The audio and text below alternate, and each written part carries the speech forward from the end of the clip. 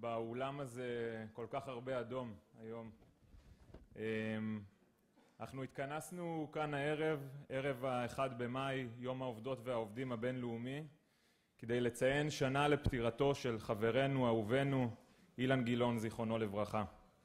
אילן, חבר הכנסת, איש השמאל, אבא, סבא, בעל, איש משפחה, יקיר העבודה המאורגנת, רכז נוער מפ"ם, איש השומר הצעיר, יושב ראש סיעת מרץ, לוחם ללא לאות למען צדק חברתי, למען שלום ולמען שוויון. אילן נפרד מאיתנו ב-1 במאי, בדיוק לפני שנה, כאילו באיזה חצי חיוך עם קריצה, וזה ככה לוודא שאנחנו ניפגש כאן היום כדי להמשיך את הדרך שלו, כדי לציין את יום העובדים הבינלאומי ולהניף את הדגל האדום. עם יד על הלב, כנראה שעבור רבים מאיתנו זה עדיין מוזר לדבר על אילן ככה בלשון עבר. דווקא עכשיו, בימים הסוערים האלה, זה מרגיש כל כך טבעי שאילן נמצא איתנו בצמתים, בגשרים, ברחובות, דוחף אותנו קדימה, אוסף עוד ועוד אנשים סביבו ודואג תמיד לעמוד על הקשר הכל כך מתבקש בין דמוקרטיה, שוויון וצדק חברתי. בערב שלפנינו נעסוק בסיפורים וזיכרונות אישיים מאילן, במורשת הפוליטית שלו וברלוונטיות שלה על רקע גל המחאות השוטף את הארץ בחודשים האחרונים. אנחנו נתחיל קודם כל עם דברי פתיחה וברכות, לאחר מכן אנחנו נעבור למושב הראשון של הכנס שיעסוק בחוויות אישיות, בסיפורים ובזיכרונות מאילן, ובהמשך אנחנו נדבר על הקשר האכן הכרחי בין המורשת הפוליטית של אילן למציאות הפוליטית כיום, כשנה לאחר פטירתו. אז ראשית כל, לדברי הפתיחה, אני מתכבד להזמין את בני המשפחה, את עמרי גילאון וענבר גירון גילאון, לשאת דברים.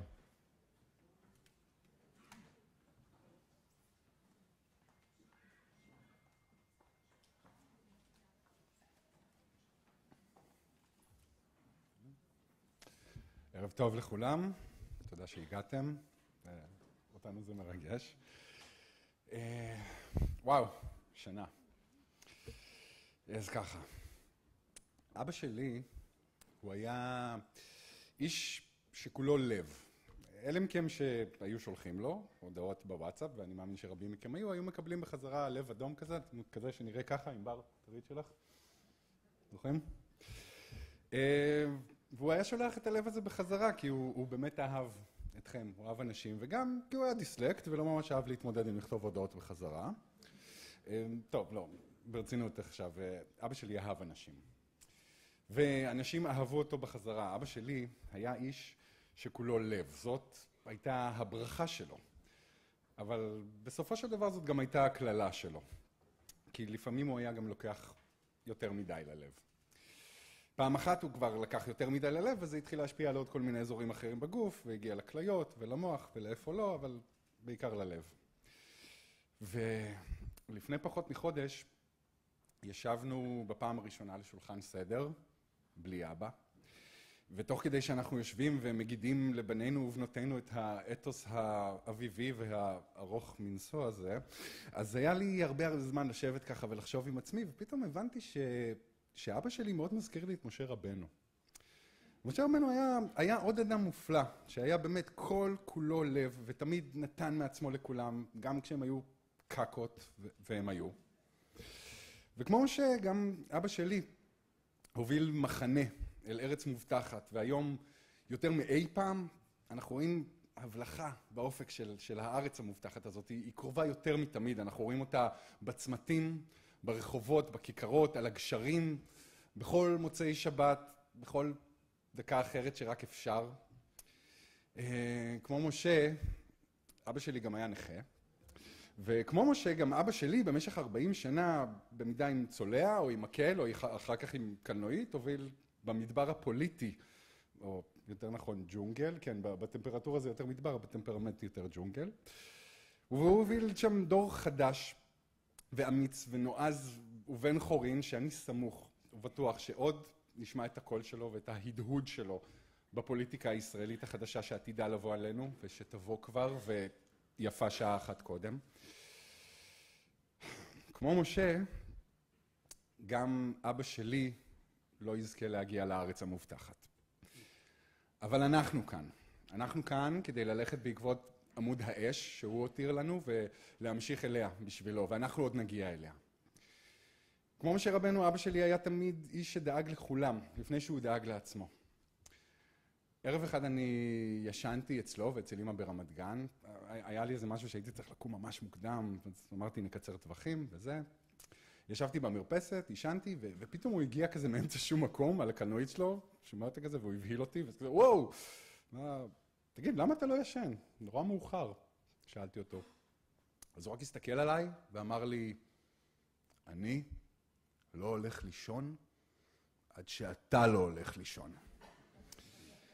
טוב, אז uh, צחצחתי שיניים ונתתי לו נשיקה ואמרתי לו לילה טוב והלכתי לישון. ואז קמתי מאוד מוקדם בבוקר למחרת ויצאתי לדרך ולא הרבה זמן אחר כך גיליתי שזה היה המשפט האחרון שהוא אמר לי בחיי. וכזה היה אבא שלי. הוא היה איש שכולו לב, שאהב את כולם ושאף פעם לא הלך לישון עד שהוא ידע שלכולם טוב ושהם ישנים במיטות שלהם בשקט. בסמינרים של נוער מפ"ם הוא אף פעם לא ישן, נכון? גם אתם, בגלל זה, כן. אה, אבל עכשיו זה תורנו. עכשיו אנחנו לא הולכים לישון. ואנחנו לא נלך לישון עד שלא נדע שלילדים שלנו הכי טוב בעולם, ושהם ישנים בשקט במיטות שלהם בארץ המובטחת. תודה לכולכם שהגעתם.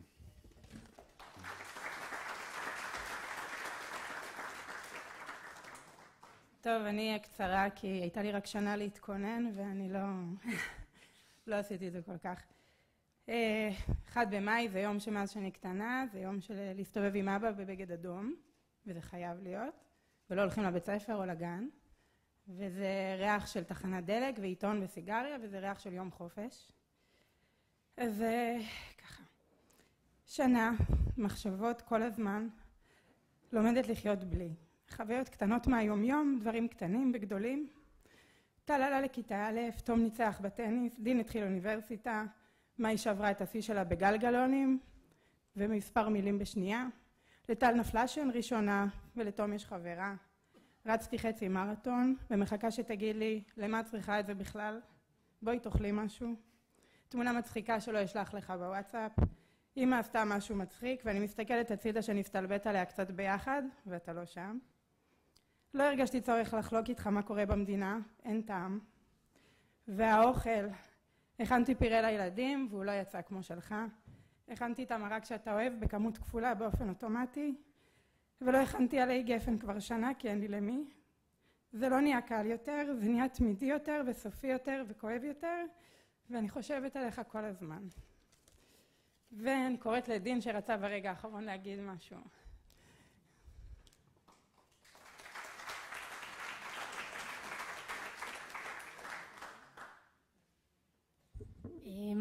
שלום, היום זה הראשון במאי, אני זוכר כמה פעמים שהייתי איתו בהפגנות.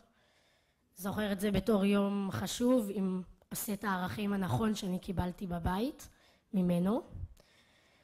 אמ, עכשיו עם כל המחאה הגדולה שיש סביבנו וכל מה שקורה במדינה, לפעמים אני חושב אולי הוא הלך בזמן הנכון לא לראות את כל הגועל נפש והבושה שקורית לנו במדינה ושאולי נכון שככה הוא הלך בלי לראות את כל הדבר הזה ואנחנו נתגעגע אליו ואני מקווה שנשמע פה היום סיפורים מאוד מצחיקים. תודה רבה שהגעתם.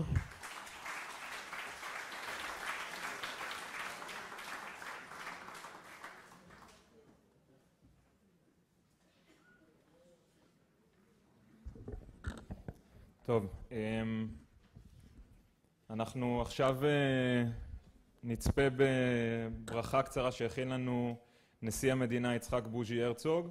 אה, אני אבקש רק לכבות קצת את האורות שם אה, בתור, נכון? יש...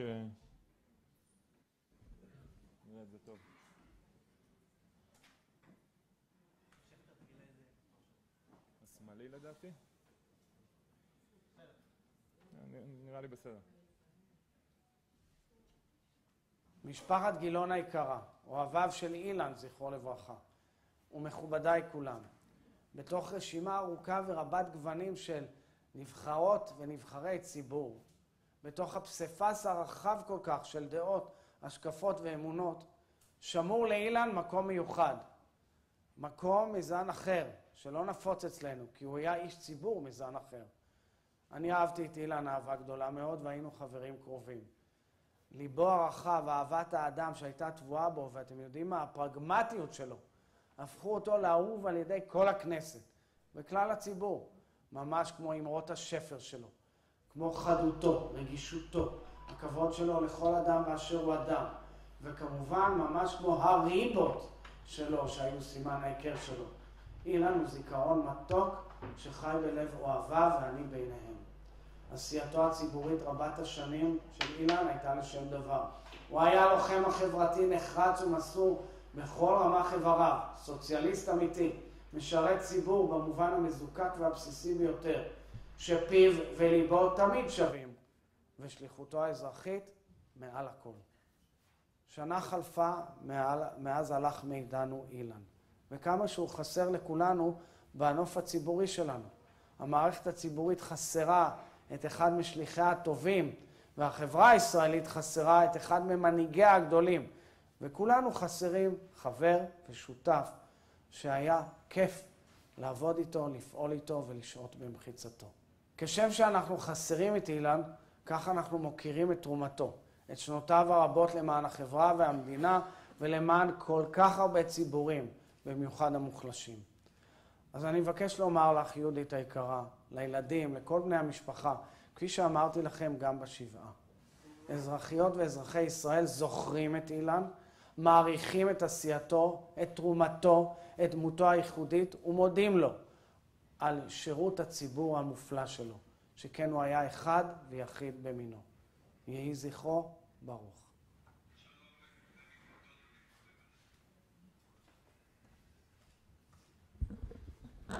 אני מתכבד להזמין את אה, תומר רזניק, סגן יושב ראש ההסתדרות, מזכ"ל מרץ, ומי שגם היה אחד מהאנשים אה, הקרובים ביותר לאילן, אני חושב שאפשר לומר.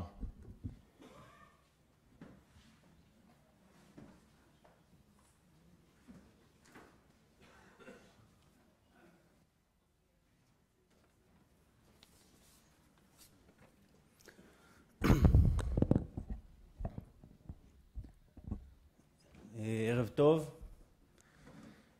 לפני שאני אקרא מהכתוב, אה, כל פעם שהייתי עושה לאילן כנס בחירות, ואלוהים יודע שהייתי עושה כמה כאלה, אז אילן היה אומר, אני לא צריך את היורצייט הזה.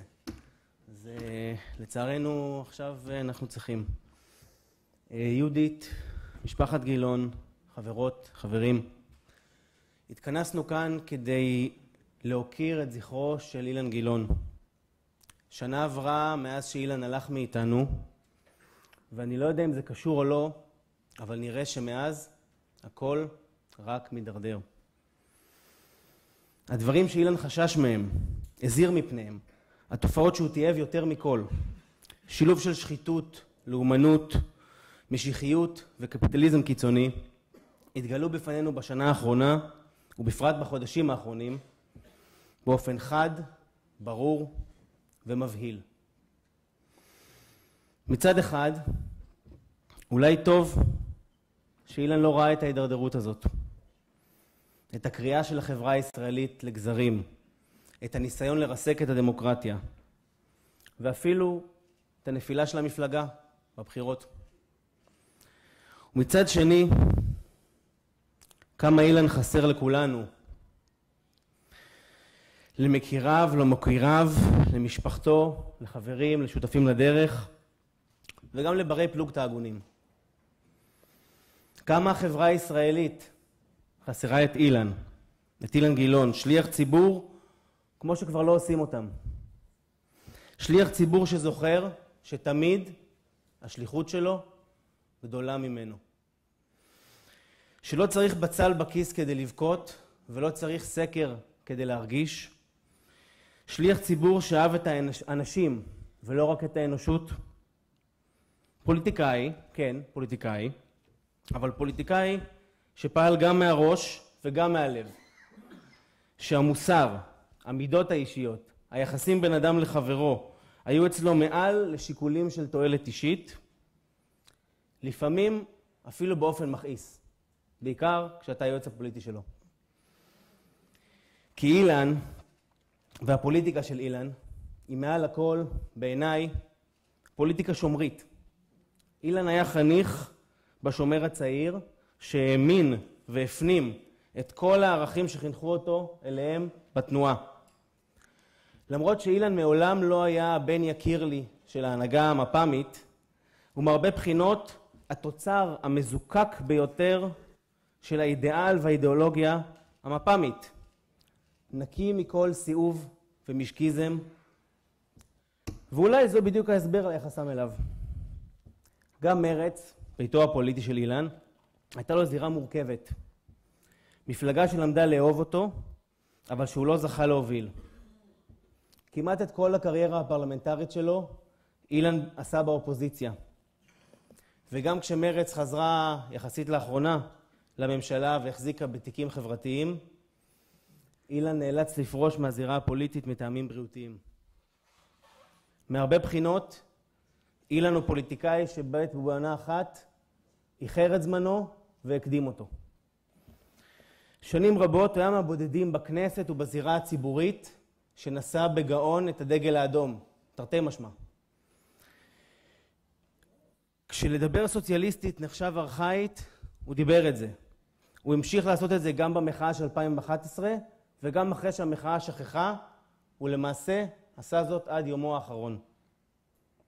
לנו, לכל מי שרואים עצמם מוקירי דרכו, ממשיכי דרכו, תלמידיו וחניכיו, יש חובה להמשיך את הדרך, להאיר את הלפיד, כי כמו שאילן אמר, אין שמאל שהוא לא סוציאליסטי ואין סוציאליזם שהוא לא שוחר שלום.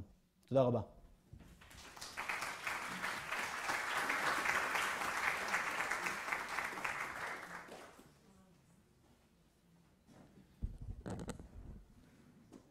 אני רוצה להזמין עכשיו את אה, מיטל להבי, סגנית ראש העיר תל אביב. יושב ראש סיעת מרצ כמובן במועצת העיר.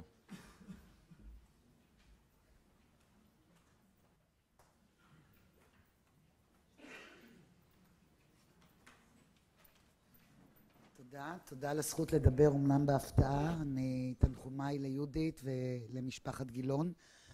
ובעצם תנחומיי לכולנו, לכל עם ישראל, על אובדן של אה, איש ציבור, מנהיג, ישר, חדור שליחות ומטרה, שעשה את העבודה למען הציבור בלי להסתכל קדימה, לוחם צדק שפיו וליבו שווים. ואני אומר משהו, אילן התחיל את דרכו כסגן ראש עירייה באשדוד. ובכל הפעמים שאני התלבטתי ביחס לתפקיד שלי ושל החברים במוניציפלי, השיחה עם אילן הייתה מאוד מאוד ברורה. במוניציפלי אפשר לעשות הרבה הרבה יותר בגלל המגע עם אנשים, וידוע שאילן אהב את המגע עם האנשים. הרי הלשכה שלו הייתה הלשכה פורה בפניות ציבור, ואף פנייה לא הייתה בה שלא נענתה. ואני יודעת את זה כי הרבה פעמים המתמחים, העוזרים, היו פונים אליי אם היה בזה איזשהו עניין אה, תל אביבי. אז אה, אה, אילן תמיד אמר שככל שאנחנו יכולים להישאר במקום של עשייה, זה מה שצריך לעשות. וכשהתלבטתי איתו לפעמים על קואליציה ואופוזיציה, הוא תמיד אמר לי, כל עוד את מרגישה שאפשר לעשות מהקואליציה יותר ממה שלמנוע מהאופוזיציה, אז תישארי במקום של עשייה. אז אחד במאי אין מישהו שיכול לייצג באופן נאמן ביותר את מעמד העובדים, העמלים, המוחלשים, בעלי המוגבלויות, המיעוטים. ממי שחרת, אה, ממי שחרת על דגלו את האמירה שחבר כנסת צריך לקבל החלטה כאילו הוא הזקן, עני וחולה, ולא כאילו הוא צעיר, בריא ועשיר. ורק אה, ככה לומר לסיום, אני העליתי אפילו איזה קטע היום בטוויטר, חיפשתי קצת אה, דברים על אילן, ואילן הוא כל הזמן התעסק בנושא של דמוקרטיה ובפערים שהיו, אה, פערי ההון, ריכוז ההון, הפערים החברתיים, אה, ואומר שהעוני, הפערים, האפליה, הגזענות, הכל, הכל, הכל תוצר של חלוקה לא צודקת של העושר.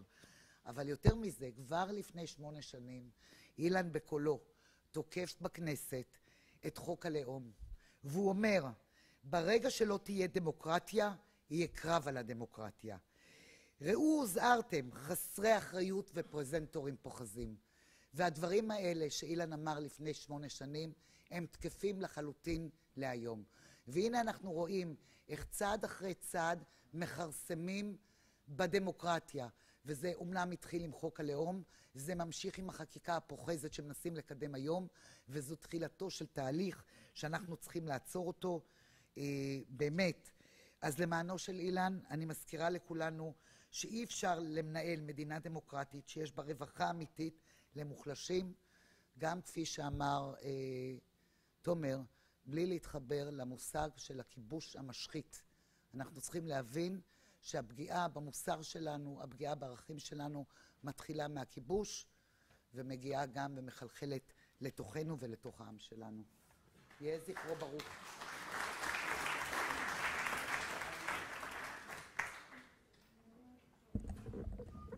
האמת שמיטל אנחנו גם נקרין בהמשך קטע מאותו נאום אה, פרזנטורים אה, רלוונטי מאוד גם להיום. אני רוצה להזמין את אה, יפעת סולל, שותפה לדרך, חברה של אילן שנים רבות, לשאת דברים.